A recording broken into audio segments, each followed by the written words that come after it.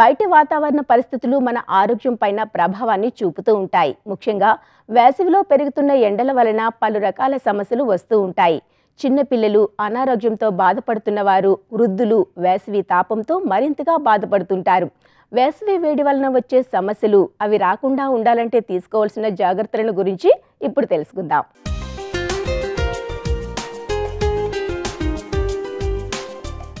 బయట వాతావరణం వేడిగా ఉన్నప్పుడు నీరు ఇతర ద్రవ పదార్థాలు ఎక్కువగా తీసుకోవటం ఎండలో బయటకు వెళ్ళకుండా ఉండటం. ఒకవేళ బయటకు వెళ్ళాల్సి వస్తే ఎండ తగలకుండా తగిన జాగ్రత్తలు తీసుకోవటం శరీరాన్ని అలసటకు గురి చేయకుండా విశ్రాంతి తీసుకోవటం ఇవన్నీ చాలా ముఖ్యం. మితిమీరిన ఉష్ణోగ్రతకు గురైతే శరీరాన్ని చల్లబరిచే ప్రక్రియల్లో భాగంగా చెమట ఎక్కువగా పడుతుంది.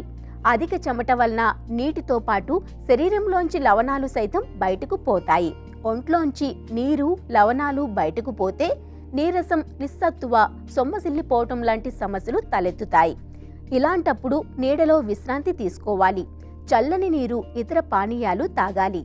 నీటిలో కాస్త ఉప్పు చక్కెర వేసుకొని తాగటం లేదా ఓఆర్ఎస్ తాగటం మంచిది. మనం విపరీతమైన వేడికి గురైనప్పుడు బాడీ తన తను కూల్ చేసుకోవడానికి టెంపరేచర్ తగ్గించుకోవడానికి బాడీ టెంపరేచర్ తగ్గించుకోవడానికి ఆటోమేటిక్గా ఈ చెమట అనేది ఎక్కువగా ప్రొడ్యూస్ చేస్తుంది అనమాట సో దానివల్ల బాడీ టెంపరేచర్ కొంచెం తగ్గుతుంది. సో ఈ స్వెట్టింగ్ అనేది పర్టికులర్గా మనం హీట్ ఎగ్జాషన్ ఇది ఫస్ట్ లెవెల్ హీట్ స్ట్రోక్లో ఫస్ట్ లెవెల్. ఆ తర్వాత నెక్స్ట్ స్ట్రోక్ అనేది వస్తుంది అనమాట హీట్ స్ట్రోక్ అనేది వస్తుంది. సో దీంట్లో మొత్తం వరకు మనం చూస్తే సివియర్ స్వెట్టింగ్ రావడం ఆ తర్వాత బాగా వీక్నెస్ రావడం కొంచెం కన్ఫ్యూజన్లో ఉండడం అంటే మాట తడబడడం సరిగ్గా గుర్తుపట్టలేకపోవడం ఆ తర్వాత విపరీతమైన వీక్నెస్ తలనొప్పులు సివియర్ తలనొప్పి ఇలాంటివన్నీ మనం హీట్ ఎగ్జాషన్లో చూస్తామన్నమాట. హీట్ ఎగ్జాషన్ నుంచి నెక్స్ట్ లెవెల్లో హీట్ స్ట్రోక్ వెళ్తుంది. ఈ హీట్ స్ట్రోక్ అంటే ఎలా ఉంటుంది? దీంట్లో వీళ్ళకి స్వెట్టింగ్ అయిపోయి స్కిన్ అనేది పూర్తిగా డ్రై అయిపోతుంది. స్కిన్ అనేది పూర్తిగా డ్రై అయిపోయి ఆ తర్వాత వాళ్ళలో ఈ వాంతులు విపరీతంగా పెరిగిపోవడం ఆ తర్వాత పూర్తిగా స్పృహ కోల్పోవడం ఆ తర్వాత వీళ్ళ బాడీ టెంపరేచర్ విపరీతంగా పెరిగిపోవడం ఆ తర్వాత వీరు మెల్లిగా ఒక కోమా లోపలికి స్లిప్ అవడం ఇలాంటివన్నీ జరుగుతూ ఉంటాయి. సో మీరు ఎవరన్నా సరే పర్టికులర్గా ఏప్రిల్ మే నెలలో ఎవరన్నా స్ప్రో కోల్పోయి పడిపోతున్నారంటే ఫస్ట్ మీరు వెళ్ళి వాళ్ళ బాడీ టెంపరేచర్ని తగ్గించే ప్రయత్నం చేయాలి. అంటే ఫస్ట్ ఎయిడ్ మీరు ఫస్ట్ అంబులెన్స్ పిలవాలి. అంబులెన్స్ వచ్చే లోపల కొంచెం చల్లటి నీళ్ళతోటి బాడీ టెంపరేచర్ని తగ్గించే ప్రయత్నం చేయాలి. ఎండ వేడికి శరీర ఉష్ణోగ్రతను నియంత్రించే వ్యవస్థ పూర్తిగా కుప్పకూలితే అది వడదెబ్బకు దారితీస్తుంది. శరీరానికి చెమట పట్టదు. శరీర వేడి విపరీతంగా పెరిగిపోతుంది.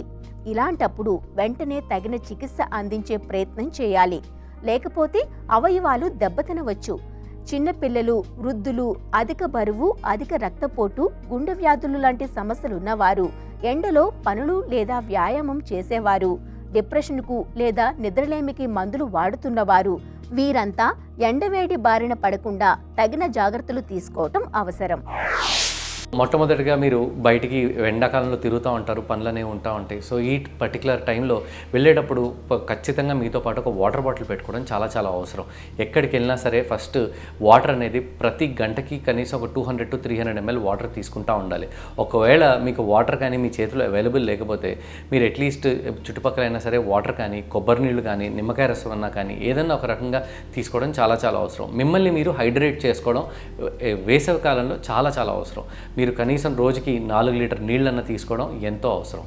ఇది కాకుండా నెక్స్ట్ మీరు చూసుకోవాల్సింది ఒకటి తలకి ఏమన్నా వడదెబ్బ తగలకుండా ఏమన్నా స్కార్ఫ్ లాగా కానీ లేదంటే స్కార్ఫ్ మరీ టైట్గా ఉందనుకుంటే కనీసం గొడుగు లాంటిది కానీ ఒకటి వేసుకోవడంలో ఎటువంటి విధమైన తప్పు లేదు. ఎందుకంటే మన సన్కి డైరెక్ట్గా ఎక్స్పోజ్ అయినప్పుడు మనకి విపరీతమైన బాడీలో హీట్ పెరిగే అవకాశం ఉంటుంది సివియర్ హెడేక్ రావచ్చు కళ్ళ మీద కూడా ఎఫెక్ట్ పడే అవకాశం ఉంటుంది. సో మన గ్లాసెస్ లాంటిది ఒకటి డార్క్ గ్లాసెస్ పెట్టుకోవడం లేదంటే కళ్ళ డైరెక్ట్గా సన్కి ఎక్స్పోజ్ అవ్వకుండా చూసుకోవడం వీలైన వరకు గొడుగు కానీ లేదంటే ఏమన్నా స్కార్ఫ్ కానీ హెడ్ కవరింగ్ లాగా లూజ్గా ఉండేటట్టు గాలి ఆడేటట్టు కట్టుకోవడం చాలా చాలా అవసరం. మీరు వేసుకునే బట్టల్లో కూడా మీరు ఎంతో జాగ్రత్తలు వహించాలి. లూజ్గా ఉండే బట్టలు కాటన్ బట్టలు కాటన్ వస్త్రాల్ని ధరించడం చాలా చాలా అవసరం.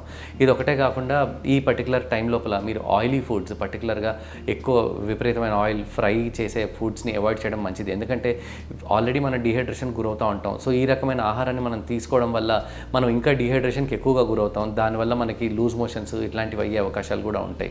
వేసవిలో ఎక్కువ ఎండలో వేడిలో ఉండటం మితిమీరిన శారీరక శ్రమ చేయటం మంచిది కాదు. లేత రంగుల్లో ఉండి వదులుగా ఉన్న కాటన్ దుస్తులను నిండుగా ధరించాలి. ఇంట్లో ఉన్న వేడి తట్టుకోలేనంతగా ఉంటే చల్లని నీళ్ళతో స్నానం చేయాలి. నీరు ఇతర ద్రవాలు ఎక్కువగా తీసుకోవాలి. బయటకు వెళ్ళేటప్పుడు ఎండ నుంచి రక్షించే సన్ స్క్రీన్ లోషన్ను అప్లై చేసుకోవాలి. శీతల పానీయాలు చక్కెరతో తయారైన ద్రవాలు ఆల్కహాల్ వంటివి తగ్గించాలి. రోగనిరోధక శక్తి పెంచే పళ్ళు కూరగాయలు ఆకుకూరలు వంటి ఆహారాలు ఎక్కువగా తీసుకోవాలి.